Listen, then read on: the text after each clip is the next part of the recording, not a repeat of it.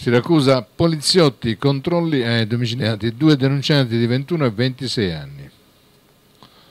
Nonostante le limitazioni imposte per il contrasto dell'emergenza epidemiologica, la Polizia di Stato ha rivolto particolare attenzione al monitoraggio delle persone ristrette da vincoli giudiziari domiciliati nel territorio nel centro e dei soggetti orbitanti per i presidenti di polizia nell'ambito della criminalità comune e diffusa con particolare attenzione al settore dello spaccio degli stupefacenti. Nell'ambito di predisposti servizi finalizzati al controllo dei soggetti che in città sono sottoposti a limitazione della libertà personale, agenti delle volanti hanno denunciato un giovane di 21 anni di origini rumene per avere violato le prescrizioni relative al regime degli arresti domiciliari cui è sottoposto.